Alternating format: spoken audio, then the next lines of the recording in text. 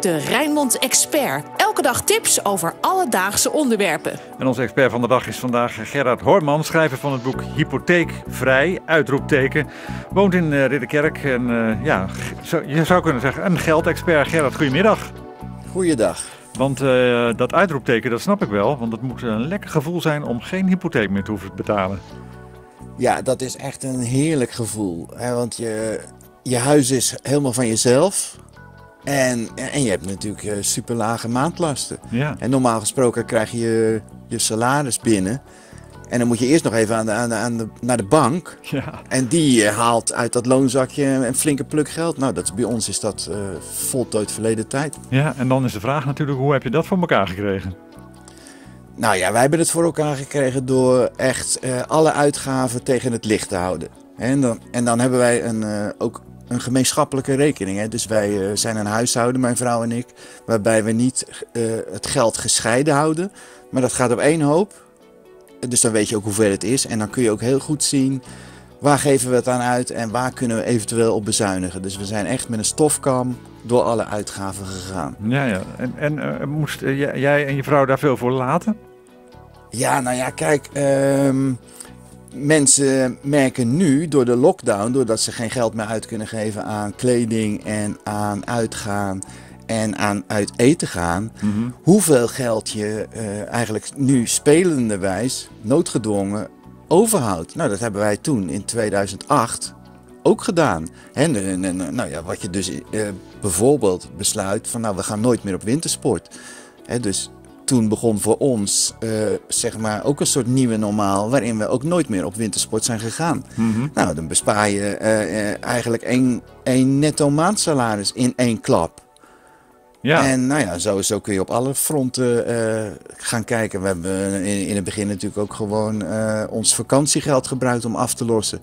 En we zijn eigenlijk, om het heel simpel te zeggen, zijn we gaan leven van mijn salaris. Ik werkte fulltime. Mijn vrouw werkte twee dagen in de week. Die verdiende daar 1000 euro netto mee. Ja. Nou, we hebben haar volledige salaris gebruikt om, om mee af te lossen. Ja, ja, maar jullie zijn toch nog wel een keer op vakantie gegaan of een keertje uit eten?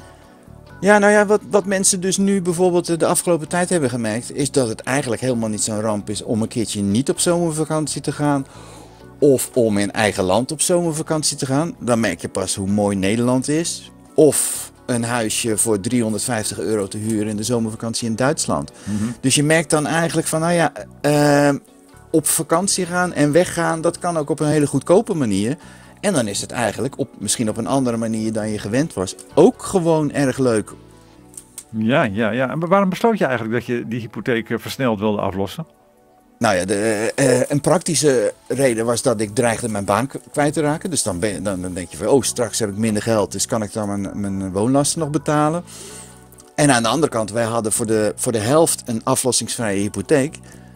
En daarvan moet je toch op enig moment wel even gaan, uh, gaan nadenken van, nou ja, wat ga ik daar eigenlijk mee doen? Hoe lang loopt die nog door? Mhm. Nou, dan, dan kun je in de papieren zien dat als je niet gaat aflossen, dan ben je misschien nog 50, 60 jaar rente aan het betalen. Dus dan betaal je het bedrag wat je geleend hebt, betaal je aan de bank nog eens een drievoud terug. Nou ja, dat, dat stond mij niet aan. Ik denk, ja, dat, die schuld moet weg. En een hypotheek is een woningsschuld. Hè? Ja. Dus net zoals je je studieschuld afbetaalt, is het eigenlijk ook logisch om dat met je woningsschuld te doen. Ja, nou, de vraag is natuurlijk even in welk tempo, want jullie hebben het dus echt wel uh, snel gedaan. Is dat voor iedereen weggelegd, denk je?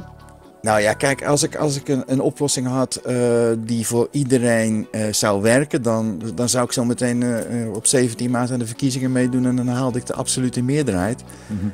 Maar ik kan wel zeggen, en, en bijna iedereen zal dat nu beamen, dat elk huishouden meer kan sparen dan ze, dan ze nu denken. Mhm. He, want toen wij in 2008 begonnen met aflossen, toen, en als je tegen mij had gezegd van nou ja, je kunt zo meteen als je wat aan je uitgaven doet en dat anders inrichten, kun je misschien wel elk jaar 15.000 euro aflossen of 20.000. Ja, dan had ik je hard uitgelachen. Mhm. Dan had ik gedacht van ja, dat is niet mogelijk. Maar dat bleek uiteindelijk uh, ja, makkelijk te doen. Ik hoor wel eens van mensen die, die, die 30.000 per jaar aflossen. Ja, ja, ja. En wat heb jij nou voor tips voor mensen die denken van nou, dat wil ik ook, weg, weg, weg met die hypotheek? Nou, uh, de belangrijkste tip is eigenlijk van... Uh, waarom wil ik het? Dus je moet, je moet nooit zomaar je hypotheek gaan aflossen omdat je dat net toevallig op de radio hebt gehoord. Of omdat je in de winkel een boek ziet liggen met hypotheekvrij erop. Mhm. Je moet je afvragen van is het in mijn geval nodig? En is het, is het, eh, het is goed om er even naar te kijken en erover na te denken. Maar je moet ook weten van ja, wij hadden een, een hypotheek die, met een rente die 20 jaar vast stond op 7%. Hm. Nou, dan wil je wel aflossen. Ja. Maar als jij nu nog een ton aflossingsvrij hebt staan tegen anderhalf procent, Ja. ja, dan, dan kun je het net zo goed. Ja, dan kun je het net zo goed laten. Want ik, ik heb drie krantenabonnementen en daar ben ik meer geld aan kwijt dan zo iemand aan zijn hypotheek. Dus dan, ja, dan kun je gewoon rustig gaan slapen en dan is er geen vuiltje aan de lucht. Maar ik adviseer mensen altijd wel, pak je papieren er even bij en ga eens lezen wat er nou eigenlijk echt in staat. En, en maak eens wat, wat rekensommetjes zo op een, eh, op een regenachtige middag. En praat er eens over met elkaar. En, en ja, hou, hou alles gewoon eens tegen het licht. En Ja. kijk of het nodig is en wat je dan eventueel zou kunnen gaan doen. Ja, alles goed tegen het licht houden. En, en wat waren jullie eerste dingen waarvan je zei meteen van oh, hier gaan we eh, op bezuinigen? Nou ja, eh, ik heb echt zeven jaar lang geen nieuwe spijkerbroek gekocht. Mm. En dan merk je gewoon van, ja, als je je niet al te strikt aan, aan de regel houdt van wat er dit seizoen toevallig in de mode is, dan duurt het echt wel zeven ja, of tien jaar voordat je in de klerenkast kijkt en denkt van, nou, nou mag ik wel eens wat nieuws kopen. Ja, ja, ja. Want je hoeft echt niet elk jaar een nieuwe winterjas. Daar, daar kun je gewoon. eh, nou, nou, je kunt er wel mee wachten tot de volgende strenge winter, zou ik zeggen. Tot Ja. over negen jaar. Daar is wel veel mee te, winst mee te boeken. Nou, eh, dankjewel voor je tips, eh, Gerard. Heb je inmiddels wel een nieuwe broek trouwens? Nou ja, we hebben toen we eh, hypotheekvrij waren, dat was precies voordat corona. eh, Ja? was ook wel weer grappig getimed, maar goed. Toen hebben we inderdaad in eh, eh, onze slag geslagen en hebben we wel twee uitgespaarde maandbetalingen in één klap uitgegeven aan nieuwe kleding. Ja. ja, ja, ja. Dat was een soort inhaalrace. Ja, precies. En dat mag dan ook wel als, als beloning. Dankjewel Ja. voor je tips. Gerard Hoorman, schrijver van het boek Hypotheekvrij. Met tips voor het versneld aflossen van de hypotheek.